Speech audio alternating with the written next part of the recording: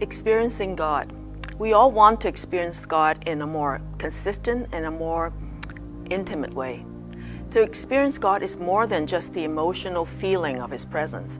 It means to know what, to love what He loves, to know what breaks His heart, and to see the way He sees things, and to partner with Him in what He's doing.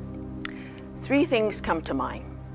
First, God wants us to experience Him. Sometimes we feel that He is playing hide and seek with us, but in Isaiah 55 1, in Malachi 3 7, and Matthew 11 28, we hear God repeatedly say to His people, Come, return to me, come to me.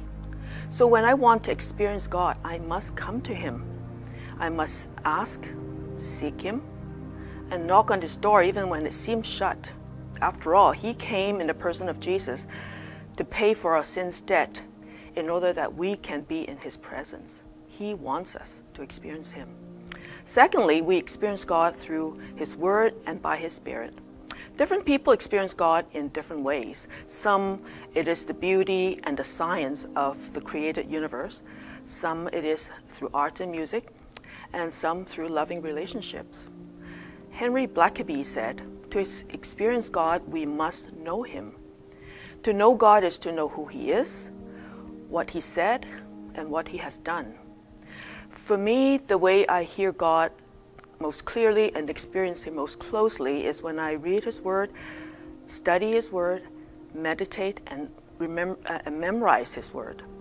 And then the Holy Spirit uses the Word to speak to my circumstance, to correct my thinking, and change my attitude.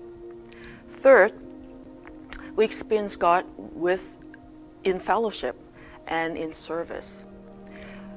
To serve means to say yes to God when He calls us to action. When we say yes to God, we are taking on His yoke and we are partnering with Him in what He is doing. And I do I experience God when I see you doing the same, when I hear what God is speaking to you through His Word, when I see God working in your lives, when we hear when we see answered prayers, and we also and especially when I see you faithfully serving Him out of love and obedience. And in this way, we experience the fullness of God as the body of Christ.